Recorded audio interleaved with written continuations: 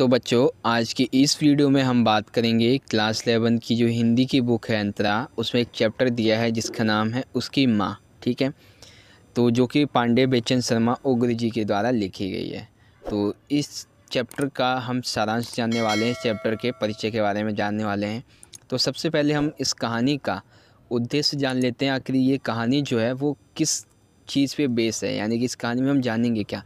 तो देखिए इस कहानी में देश की बुरी अव्यवस्था से चिंतित युवा पीढ़ी के विद्रोह को एक नए रूप में प्रस्तुत किया गया है। यानी कि इस कहानी से एक देश, जो देश है, उसकी बुरी अव्यवस्था से चिंतित युवा पीढ़ी के एक विद्रोह को नए रूप से प्रस्तुत किया गया है। इस अव्यवस्था के लिए युवा पीढ़ी शासन तंत्र को दोषी मानती है और उसे उखाड़ फेंकना चाहती है और जो नई नई पीढ़ी विद्रोह के स्वर के लिए राजसत्ता का विद्रोह, विरोध में खड़ी है।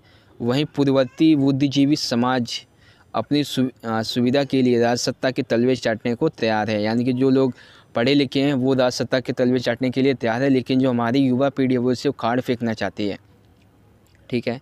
इन दोनों के बीच में है एक माँ, यानी कि भारत माँ, जो अनेकों अनेक प्रयासों से, के बावजूद व्यवस्था की चक्की से अपने बेटों को नहीं बचा सकी। इस कहानी में ममतामयी माँ का सजीव चित्रण किया गया है। अब वो चित्रण किस तरह से किया गया, आइए इस कहानी के माध्यम से हम जानें। तो इसको हम एक ही बार में लेना चाहेंगे तो उसके लिए एक मिनट हाँ। मैं इसको एक बार फिर से करता हूँ अंडरलाइन ताकि एक ही के अंदर अगर अंडरलाइन हो जाए तो अच्छी बात है। हाँ। तो देखिए यह कहानी स्वाधीनता संग्राम से प्रेरित है, यानी कि स्वाधीनता आंदोलन जो है उससे प्रेरित है। लेखक ने देश को आज़ाद कराने के लिए कुछ युवकों के द्वारा दिए गए बलिदान का मार्मी स्पंद मार्मिक मार्मिक तरीके से यहाँ पे चित्रण किया है। एक दिन दोपहर के समय लेखक कुछ पढ़ने के विचार से पुस्तकालय जाता है। तभी शहर के पुलिस सुपरिटेंडेंट उसे मिलने आते हैं। पुलिस सुपरिटेंडेंट उसे लाल की फ़ोटो दिखाकर लाल के विषय में पूछताछ करता है। लेखक बताता है कि ये, कि उसके मैनेजर रामनाथ का पुत्र है और रामनाथ की मृत्यु हो चुकी है। लाल कॉलेज में पढ़ता है और अपनी बूढ़ी माँ के साथ दो मंजिली मकान में रहता है। उनका खर्च लेखक के पास रखी उसकी पिता की जमा पूंजी से चलता है।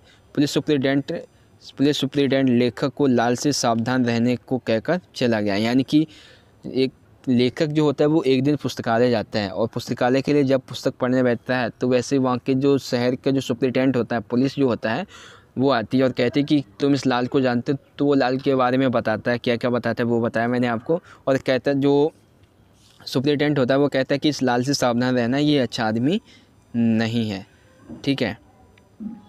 फिर यहाँ पे बताया गया कि लेखक लाल की माँ को बताता है। यानी कि जो लेखक है, वो लाल की माँ को बताता है कि वह लाल को समझा दे कि लाल क्रांतिकारियों से दूर ही रहे। यानी कि लाल को समझा दे कि वो लाल जो है, वो क्रांतिकारियों से दूर है अन्यथा उसे इसका दंड भोगना पड़ेगा। तभी लाल अपनी माँ को बुलाने आता है। तो लेखक उसे समझाने का प्रयास करता है कि वह ब्रिटिश सरकार के विरुद्ध षड्यंत्र षड्यंत्र करना छोड़ दे। उसके लाल उसके लाल साथ तर्क वितर्क करता है। करता है। वह कहता है कि वह देश को पराधीन, दे, पराधीन नहीं देख सकता और देश को स्वतंत्र कराने के लिए वह कुछ भी कर सकता है। जो राष्ट्र किसी अन्य राष्ट्र के नागरिकों की स्वतंत्रता का दमन करता है, ऐसे दुष्ट राष्ट्र, यानी कि ब्रिटिश, यानी कि ब्रिटिश सरकार को वर्तम सर्वनाश, वह सर्वनाश में वह अपना योगदान देना चाहता है, यानी कि वह किसी भी प्रकार से क्रांतिकारियों को नहीं छोड़ेगा, अपनी क्रांतिगिरी क्रांतिगिरी नहीं छोड़ेगा, जबकि लेखक उसे बहुत समझाता है फिर भी। ठीक है? जो कि होना चाहिए, ठीक है? तो इन्हीं की वजह से आज हम यहाँ पे आज़ाद बैठे हुए हैं, ठीक है? क्योंकि बहुत सारे लोगों ने प्रयास किया था। उसके बाद एक दिन लेखक घर आता है तो अपनी पत्नी को लाल की माँ से बात करते देखता है। वह लाल की माँ से लाल के मित्रों के विषय में पूछता है। वह बताती है कि लाल के सभी मित्र मस्त एवं हसौड़ तथा ज़िंदा जिल हैं, ज़िंदा दिल हैं।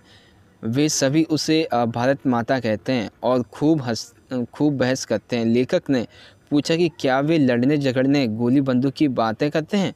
तो वह सरलता से कहती है कि उनकी बातों से कोई मतलब थोड़े ही होता है। यानी कि उनकी बातों से कोई पता थोड़ी ना होता है, वो क्या कहते हैं?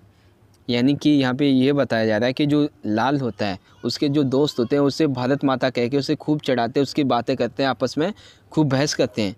लेखक ने पूछा कि, कि क्या वो लगड़ झगड़ झगड़ते लड़ते नहीं हैं या फिर उनके आपस में गोली बंदूक की बातें नहीं होती? तो वह सरलता से कहते हैं नहीं नहीं ऐसी कोई बात नहीं है अगर बात होती भी है तो हमें इससे क्या मतलब है? ठीक है।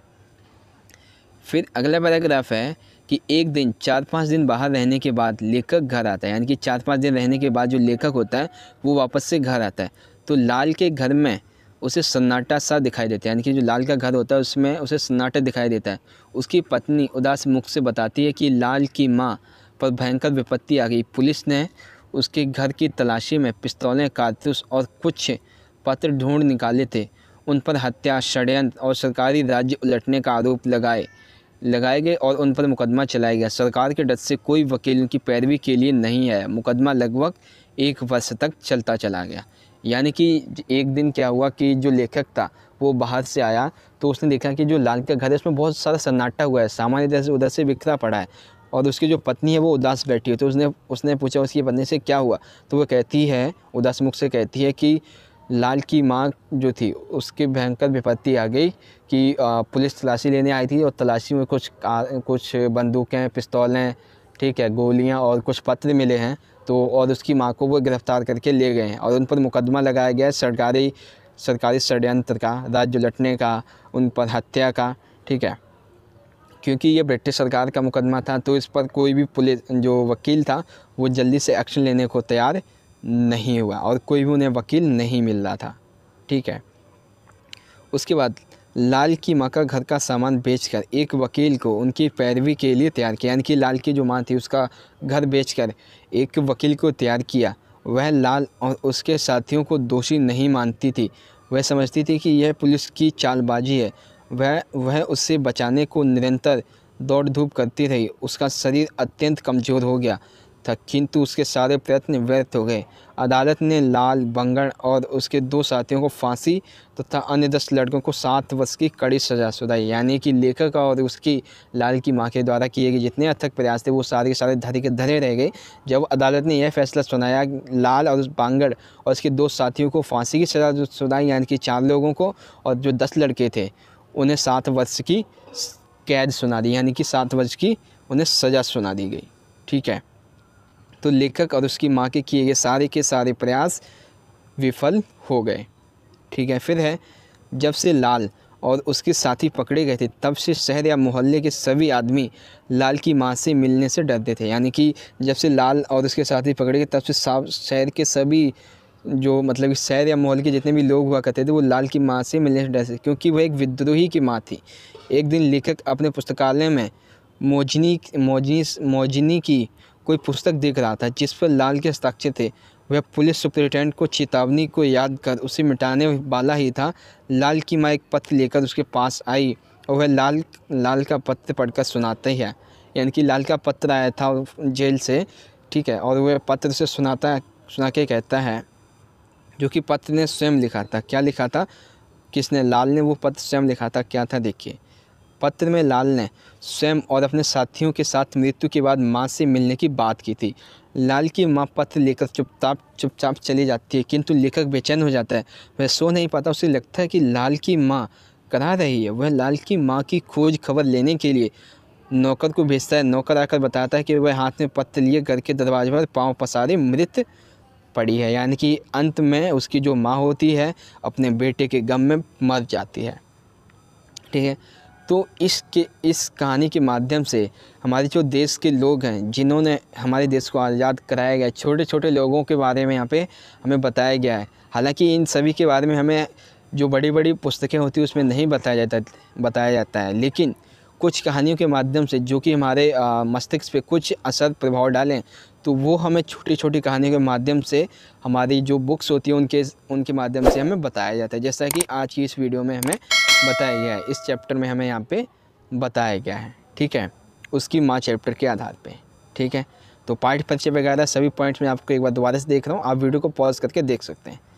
तो दोस्तों, आशा करता हूँ कि आज की ये वीडियो आपको पसंद आई होगी और आपको समझ में आ गई होगी इस चैप्टर के बारे में। दोस्तों, आशा करता हूँ कि आज की ये वीडियो आपको पसंद आई होगी। वीडियो अच्छी लगी हो तो इस वीडियो को अपने दोस्तों के साथ अधिक से अधिक शेयर ज़रूर कर देना।